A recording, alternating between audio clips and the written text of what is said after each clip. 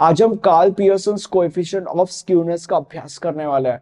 सबसे पहले तुम्हें यह समझने की ज़रूरत है कि स्क्यूनेस का मतलब क्या होता है। अब वैसे तो उसके ऊपर हमने एक सेपरेट लेक्चर बना के रखा है बट अभी तुम लोग को जितना समझने की ज़रूरत है इसके बारे में, वो मैं तुम लोग को अभी बता रहा हूँ। इस लेक्चर के बाद अगर तुम्हें वो लेक्चर देखना है तो तुम देख सकते हो। Your life your choice who the fuck am I to tell you what to do and what not to do okay अब, अभी तुम्हें क्या समझने की ज़रूरत है? देखो स्क्यूनेस का मतलब क्या होता है? डिस्ट्रीब्यूशन ऑफ़ डेटा सेट के अंदर if there is a lack of symmetry तो उसको हम स्क्यूनेस कहते हैं। Now when it comes to skewness तुम्हें तीन चीज़ समझने की ज़रूरत है। सबसे पहली चीज़, इसको नॉर्मल डिस्ट्रीब्यूशन कहते हैं। जब सेंट्रल वैल्यू के आजू बाजू डेटा इक्वली डिस्ट्रीब्यूटेड है तो ऐसे डिस्ट्रीब्यूशन को हम नॉर्मल डिस्ट्रीब्यूशन कहते हैं।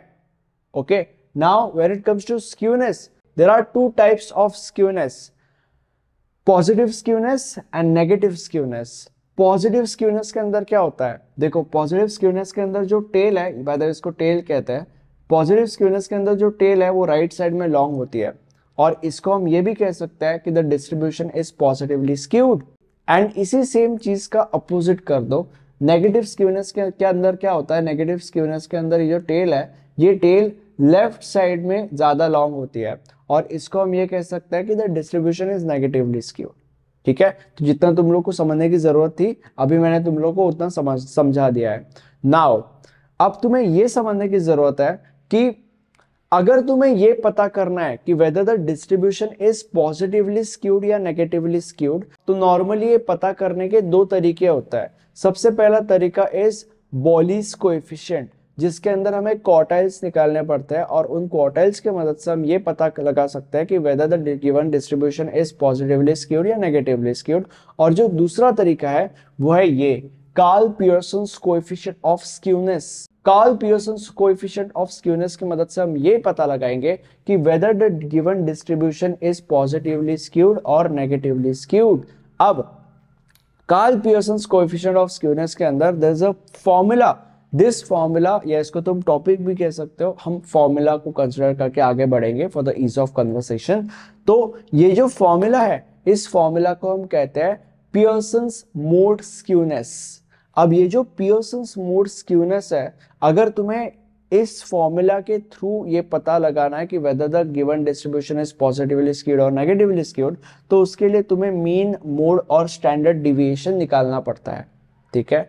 तो अभी अगर तुम्हें मीन मोड और स्टैंडर्ड डिविएशन निकालना है by the way last step होता है, इसके बाद तुम्हें पता चल जाता है कि दिया गया डिस्ट्रीब्यूशन पॉजिटिवली स्क्यूड या नेगेटिवली स्क्यूड तो अगर तुम्हें इसके अंदर वैल्यूज़ डालने हैं तो उसके लिए तुम्हें मीन मोड और स्टैंडर्ड डिविएशन फाइंड आउट करना पड़ेगा। और अगर तुम्हें मीन मोड और स्टैंडर्ड डिविएशन फाइंड आउट करना है तो ये सारे के सारे वैल्यूज़ तुम्हें फाइंड आउट करने पड़ेंगे। और अगर तुम्हें सारे के सारे वैल्यूज़ फाइंड आउट करने हैं तो उसके लिए तुम्हें ये टेबल बनाना पड़ेगा। इस दिए गए क्वेश्चन को कंसिडर करके और फिर ही हम आगे जा सकते हैं और पता लगा सकते हैं चीज़ों को राइट अब ये दिया गया क्वेश्चन है, इस क्वेश्चन को हम सॉल्व करेंगे। स्वाहा, अब शुरू करते हैं। Calculate the skewness of the following distribution ये दिया गया डेटा है। क्या करेंगे सबसे पहले? सबसे पहले जो हॉरिजॉन्टल डेटा दिया गया है, इसको वर्टिकली ऑरेंज करेंगे। तो हमने कर लिया है। ओके अब तुम लोग बोलोगे कि बाबा, ये मिड क्या है? देखो, ये अगला स्टेप है। इसके बाद तुम्हें मिड कैलकुलेट करना पड़ता है। अब तुम लोग बोलोगे कि, बाबा मिड कैसे कैलकुलेट करेंगे? नंबर्स कहाँ से आए? देखो मिड का एक बहुत सिंपल सा फॉर्मूला है। जो लोअर लिमिट है और जो अपर लिमिट है, दोनों को ऐड कर दो और डिवाइडेड बाय टू कर दो simple zero plus two that is twenty twenty upon two that is ten 20 plus 40 that is 60 60 upon 2 that is 30 60 plus 40 that is 100 100 upon 2 that is 50 80 plus 60 that is 140 140 upon 2 that is 70 100 plus 80 that is 180 180 upon 2 is 90 simple easy peasy lemon squeezy अब इसके बाद एक बहुत important step आता है और वो बहुत इंपॉर्टेंट स्टेप ये है कि हमें ए कैलकुलेट करना पड़ता है। ए क्या है? ए है अज्यूम्ड मीन मतलब तुम्हें एक वैल्यू अज्यूम करनी पड़ती है। अब वैल्यू तुम कैसे अज्यूम करोगे? देखो, जो सबसे हाईएस्ट फ्रिक्वेंसी है विच इज़ इस केस में थर्टी तो इस हाईएस्ट फ्रीक्वेंसी का मिड जो है, वो हमारा ए बनेगा। ओके तो मतलब हमारा ए क्या है? हमारा ए है पचास। ठीक है? अब नेक्स्ट स्टेप नेक्स्ट स्टेप क्या करेंगे?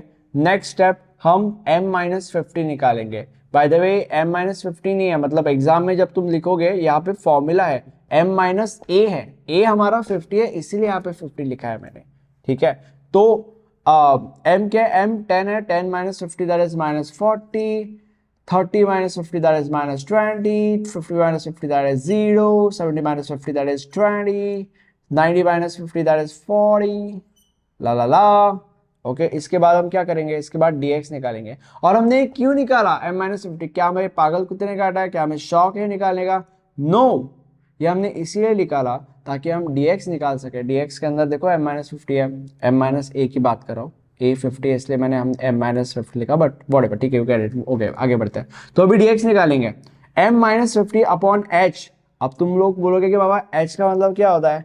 एच का मतलब upper limit minus lower limit मतलब बेसिकली इन दोनों के बीच में का डिफरेंस होता है वो? तो कोई भी अपर लिमिट माइनस उसका लोअर लिमिट कर लो, तुम्हें एक ही नंबर मिलेगा विच इज़ ट्वेंटी मतलब ट्वेंटी माइनस ज़ीरो कर लो ट्वेंटी मिलेगा फोर्टी माइनस ट्वेंटी कर लो ट्वेंटी मिलेगा सिक्सटी माइनस फोर्टी कर लो ट्वेंटी मिलेगा एटी माइनस सिक्सटी कर लो ट्वेंटी मिलेगा हंड्रेड माइनस एटी करो ट्वेंटी मिलेगा. ठीक है? तो इसका मतलब क्या है? इसका मतलब एच ट्वेंटी है. H is equal to twenty तो M minus 50 that is minus 40 minus 40 upon h, that is minus 40 upon 20 that is minus 2 minus 20 upon 20 that is minus 1 ये 0 20 upon 20 that is 1 40 upon 20 that is 2 अब आगे बढ़ते हैं हम लोग. F d x निकालना है हमें. और ये सारे के सारे वैल्यूज़ हम क्यों निकाल रहे हैं? ये सारे के सारे वैल्यूज़ हम इसीलिए निकाल रहे हैं ताकि इन सारे के सारे वैल्यूज़ को यहाँ पे पुटअप किया जाए. ओके तो f क्या है? वो दैट इज़ f? ये फ्रीक्वेंसी जो है वो f है हमारा. ठीक है? तो f into d x f into d x मतलब eight into minus that is minus sixteen minus one into twelve that is minus twelve zero into thirty that is zero one into fourteen that is fourteen two into six that is twelve d x square क्या होता है? D x square what is d is dx? dx is this, like minus two minus two का square क्या होता है? Four one का square क्या होता है? वन। ज़ीरो का स्क्वायर क्या होता है? ज़ीरो। वन का स्क्वायर क्या होता है? वन। टू का स्क्वायर क्या होता है? फोर। राइट दैट उसके बाद f d x square what is f f f f d x square मतलब बेसिकली ये मतलब ये इंटू ये that is eight into four one eight is eight twelve sixteen thirty two thirty two 1 into 12 that is 12 0 into whatever is 0 1 into 14 that is 14 and 4 into 6 1 6 is 6 2 6 is 12 is uh, 18 okay अब ये हो गया। But ये सब करके कोई फ़ायदा नहीं है क्योंकि ये जितनी भी चीज़ें यहाँ पे समेशन पूछा गया है। समेशन मतलब इन सब का टोटल मतलब अगर हमें पता है एफ़ डी एक्स मतलब लाइक हमारे पास FDX का ये कॉलम आ चुका है बट यहाँ पे FDX पूछा ही नहीं है कहीं। यहाँ पे अगर पूछा गया है तो समेशन ऑफ़ FDX पूछा गया है। तो अगर हमें समेशन ऑफ़ FDX निकालना है तो इसके लिए इसका टोटल निकालना पड़ेगा। तो अभी यहाँ पे देखो, ये गया ये गया, ठीक है? तो माइनस टू बचा। Like fourteen minus sixteen that is minus two like ये ये तो ज़ीरो है, ये पूछा भी नहीं है। Summation of f d x square summation of f d x square equal to four five six six and four that is ten okay summation of f d x wait second ये summation of d x square sorry for that. My bad. Summation of dx square is equal to uh yeah 10 whatever. Okay now summation of f dx square what that is summation of f dx square now what is summation of f dx square देखो 32 plus 12 that is 44 44 plus 4 that is 48 and 48 plus 10 that is 58 and by the way यहाँ पे 18 नहीं है 4 into 6 that is 24 अब फिर से total करते हैं एक बार 44 plus 14 that is 58 58 68 78 and 82 ठीक है यहाँ पे ये वैल्यूज़ आ गया हमारे।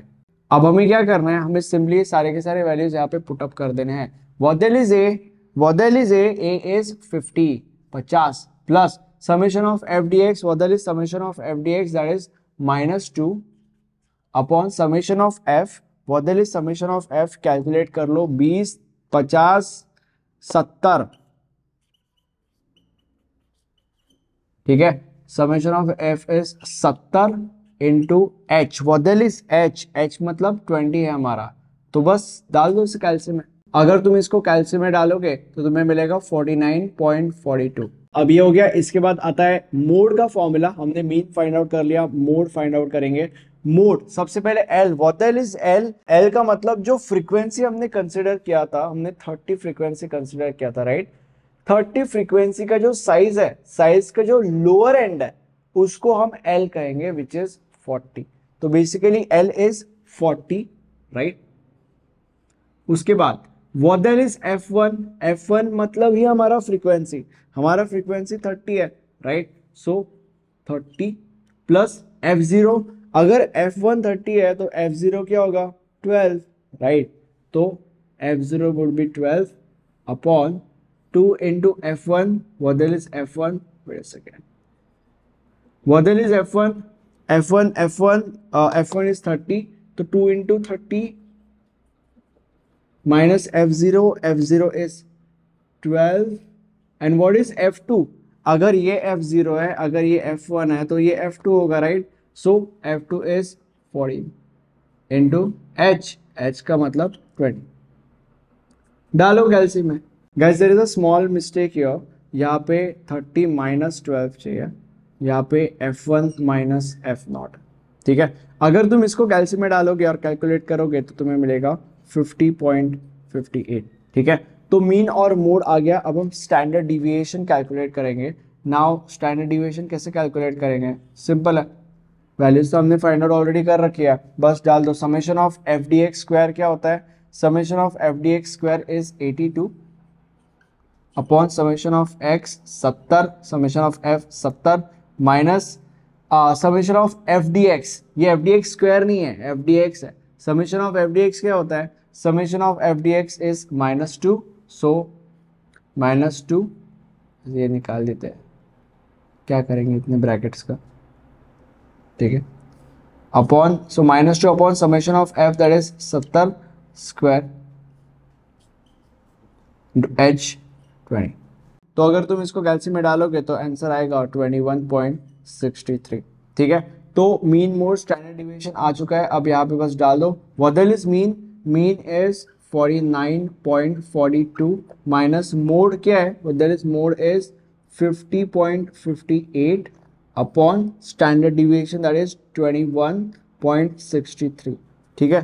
तो अभी अगर तुम इसको कैल्सियम में डालोगे तो तुम्हारा आंसर मिलेगा minus zero point zero fifty three अब ये minus zero point zero fifty three जो आंसर है, ये नेगेटिव है. अभी आंसर क्योंकि नेगेटिव है, इसलिए हम यहाँ पे लिखेंगे कि the skewness is negative this means that the distribution is negatively skewed ठीक है? यहाँ पे मैं बस लिख रहा हूँ the distribution is negatively skewed क्योंकि हमारे पास जगह नहीं है.